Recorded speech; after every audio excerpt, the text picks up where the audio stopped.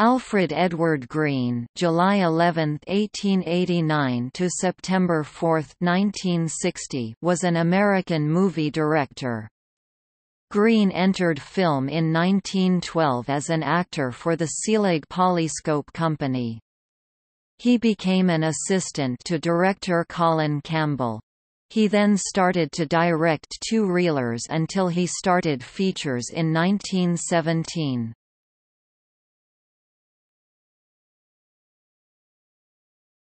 Topic: Biography.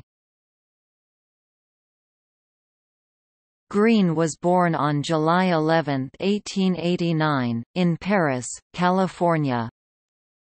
In a durable career lasting until the 1950s, Green directed major stars such as Mary Pickford, Wallace Reid, Barbara Stanwyck, and Colleen Moore. In 1926's Ella Cinders, he also played a director. In 1935, Green directed Dangerous, starring Bette Davis, who won Best Actress for her performance. Much later came Green's hit success The Jolson Story 1946 and the affectionate western Four Faces West 1948, known outside the U.S. by the more expressive title They Passed This Way. Then followed another string of B-movies. After retiring from motion pictures, he directed several TV episodes. Green was married to silent film actress Vivian Reed.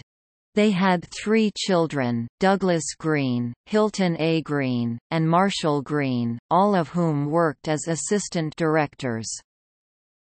Green died on September 4, 1960, in Hollywood, California.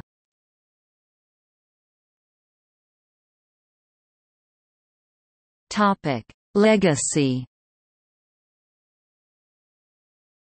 Green has a star on the Hollywood Walk of Fame.